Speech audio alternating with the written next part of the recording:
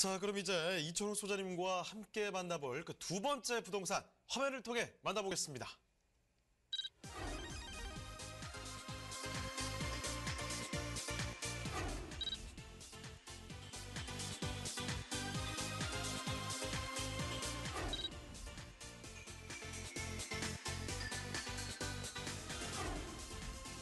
이철웅 소장님이 선정해주신 두 번째 부동산 네트워크.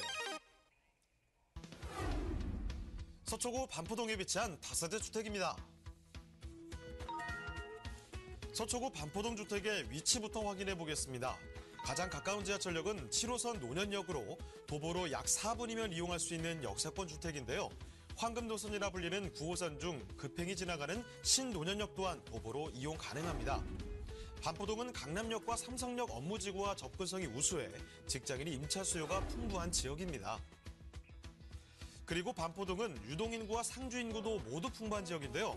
지금 보시는 이곳은 바로 논현동 먹자골목입니다. 다양한 먹거리를 즐길 수 있는 상권으로 많은 사람들이 찾는 곳인데요. 그리고 대한민국 대표 상권인 강남역 상권도 인접해 있습니다. 너비 50m, 왕복 10차선의 강남대로의 상권은 일일 유동인구가 30만 명이 넘는다고 하는데요. 반포동은 실거주부터 부동산 투자까지 활발하게 이루어지고 있습니다.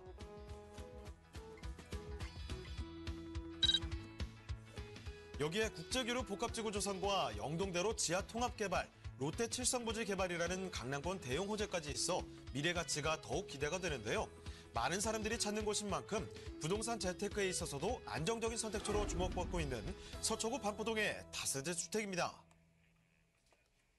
네, 모든 요건들이 빠짐없이 있으니까요. 뭐 계속해서 꾸준한 인기를 끌고 있는 것이 바로 이 서초구 반포동이라고 볼 수가 있습니다. 자, 반포동에 위치한 다세대 주택입니다. 자, 어떤 곳인지 지금부터 살펴드리죠. 네, 소장님 어떤 곳인지 먼저 개요와 함께 건물 특징 살펴볼까요? 네, 두 번째는 강남으로 한번 가보시겠습니다. 서초구 반포 1동이 되겠습니다. 신논현역에서 도보로 한 8분, 논현역에서는 도보로 한 4분 정도 떨어져 있고요. 대지 13.47, 전용이 20.45제곱미터. 5층 중에 5층에 위치되어 있습니다. 방한 개와 욕실, 물론 풀옵션 다 갖춰져 있고요. 이미 2016년 5월에 준공이 돼서 현재 월세로 돌아가고 있으면서 매매가 2억에 만나보실 수가 있겠습니다. 이미 2016년 5월에 준공이 됐고요. 공실 없이 안전하게 계속해서 돌아가고 있다라고 보시면 될 수 있을 것 같습니다. 1층에 필로티 주차장과 더불어서 또 넉넉한 엘리베이터, 풀옵션이 다 갖춰져 있기 때문에 강남에 직장을 둔 직장인들이 굉장히 선호할 만하고요. 또 하나 또 전문 관리업체 관리를 계속해서 받으실 수가 있기 때문에 임대 관리, 건물 관리도 걱정하실 필요가 없는 어, 이미 준공이 완료된 원룸이 되겠습니다. 네, 7호선과 9호선을 이용할 수 있겠습니다. 특히나 이 신논현역 같은 경우에는 9호선 이 급행이 정차하는 역이니까 이런 장점이 크다고 볼 수가 있을 텐데요. 지금 살펴드리는 곳 오늘 또 소장님께서 말씀해 주셨던 것처럼 원룸 특집이라고 했었죠. 원룸을 소개해드리고 있습니다. 자, 풀옵션을 갖춘 곳이고요. 자, 지금 5층 중에 5층까지 올라가시면 되겠네요. 자, 지금 서초구 반포동에 위치한 다세대 주택으로 살펴드리고 있습니다. 자, 그렇다면 이 서초구 반포동일 때 입지와 호재는 어떤지 그 부분도 한번 살펴주실까요? 네, 일단 뭐 서초구 반포동 그러면 강남의 가장 핵심 지역입니다. 따라서 뭐 지하철 여건이라든지 교통 여건 굉장히 좀 좋다고 보실 수가 있을 것 같은데요. 7호선 논현역에서는 한 4분 정도, 밑에 9호선이 다나는 언주역에서는 한 7, 8분 정도면 이용이 가능하다라고 보시면 될 수 있을 것 같은데, 자, 이곳 같은 경우는 3호선부터 9호선까지 4개 이상의 지하철 노선이 다니는 그런 강남의 핵심 지역에 위치를 했다라고 보시면 될 수 있을 것 같습니다. 또 차병원 사거리라든지 또 100만 명 이상 이용하는 바로 옆에 강남대로변에 자리 잡고 있습니다. 강남대로변에서는 택시에서 내려서 물건지까지 한 2분 정도면 걸어가실 수가 있을 정도로 굉장히 가깝다는 게 가장 큰 장점이 될 수 있을 것 같고요. 강남대로변을 지나는 대중 교통, 뭐 다들 아실 테고, 강남역일 때는 일일 유동인구 80만 이상을 자랑한다고 그러죠. 자, 이런 지역에 위치해 있으면서 건너편에는 또 이제 노전동 먹자골목까지 같이 있는 그런 지역이 될 수 있을 것 같습니다. 자, 강남이기 때문에 뭐 위치, 개발 호재 다들 아실 테지만 타이틀만 먼저 말씀을 드려본다 그러면은 바로 강남 대로변 지하에 현재 공사가 진행 중인 신분당선의 연장 소식을 들 수가 있을 것 같은데요.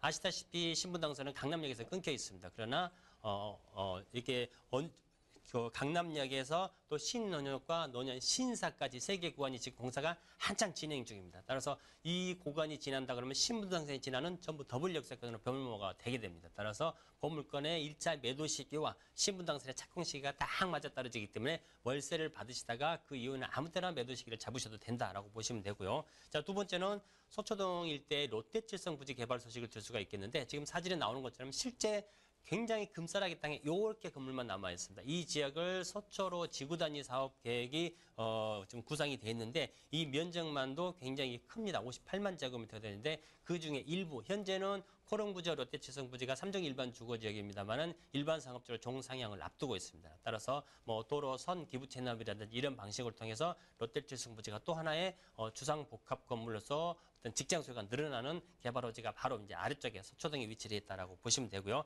마지막 하나 경부 고속도로의 지하화 소식입니다. 물론 제가 장기적인 계획이라고 말씀을 드렸습니다만은 강남대로변 바로 옆에 위치해 있습니다. 따라서 강남대로변 지하에는 신분당선이 통과가 되고요. 바로 옆에 경부고속도로는 고속도로에 다니는 차들은 지하로 통행을 하게 되고 지상은 녹지 공간과 일정 부분의 상업시설 개발이 된다고 했을 경우 보물건지 양쪽에 대형 개발호재가 자리를 잡고 있기 때문에 그 시너지 효과는 안정적으로 먼 훗날까지 계속해서 미친다라고 보시면 되겠습니다.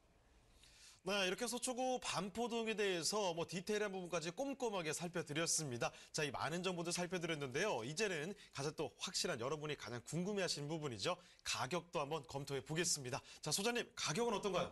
아까 영등포에 비해서는 당연히 지가가 비싼 지역이고 사이즈가 더 크기 때문에 가격도 조금 더 비싸다라고 보시면 될 수 있을 것 같은데요. 풀옵션이 다 갖춰진 주택으로서 지금까지 공실 없이 안전하게 수익이 돌아가고 있는 주택이 되겠습니다.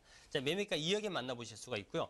전세는 1억 한 7천 정도 따라서 3천 정도의 정말 초소액을 서초구 반포 일동에 그냥 편하게 묻어두셨다가 나중에 시세 차이까지 덤으로 보실 수가 있고요. 현재 월세는 7천에 50에 실제 세입자가 들어 있습니다. 나중에 세입자가 1년 계약이기 때문에 나간다고 그러면은 월세를 더 극대화하신다 그러면은 보증금 3천에 월세 한 70만 원 정도 예상을 한번 해보시고요. 보증금 조금 받는다 그러면은 월세 어, 선순위 대출이 가능합니다. 따라서 대출을 풀로 받으셨을 경우에 수익을 70만 원 정도 받으시면서 투자되는 금액은 한 6,500 정도. 따라서 이 정도 금액을 가지고 강남 대로변과 경부속도로 사이에 어떤 안전한 수익형 월세 원룸을 얻어낼 수가 있겠습니다.